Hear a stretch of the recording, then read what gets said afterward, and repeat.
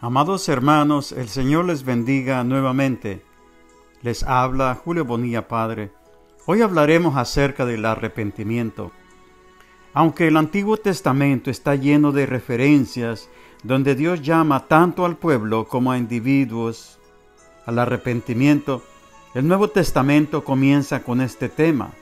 Juan el Bautista, por ejemplo, decía a los presentes, en aquellos días vino Juan el Bautista predicando en el desierto de Judea y diciendo, arrepentíos porque el reino de los cielos se ha acercado. Mateo 3, 1 al 2. En segundo fue Jesús el Mesías, diciendo, el tiempo se ha cumplido y el reino de Dios se ha acercado, arrepentíos y creed en el Evangelio. Marcos 1.15.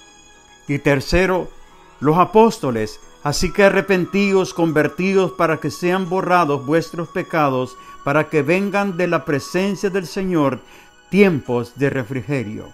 Hechos 3:19.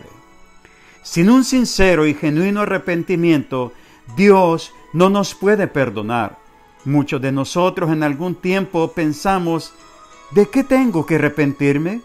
Pues soy buena persona, no le hago mal a nadie, no tengo vicios, etc.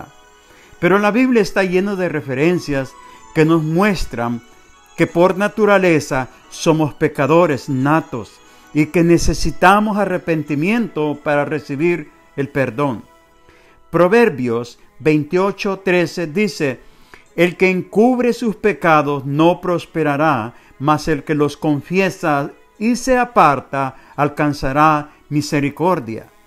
Y primera de Juan 1, 9 y 10 dice, si confesamos nuestros pecados, Él es fiel y justo para perdonar nuestros pecados y limpiarnos de toda maldad.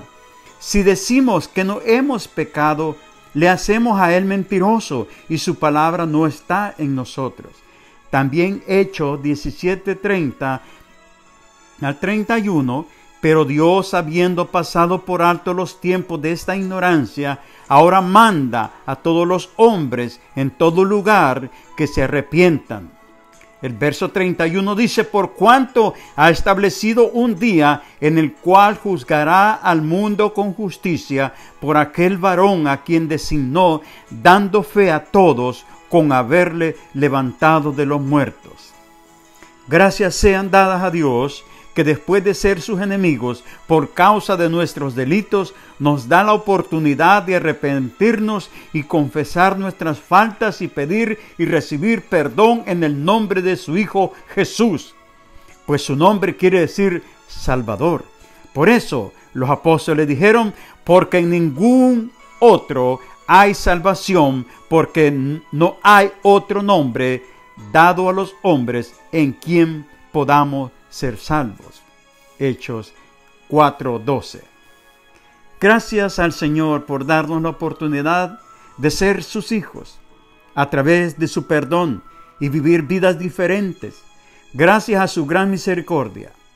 El Señor bendiga a cada uno por nombre. Será hasta la próxima.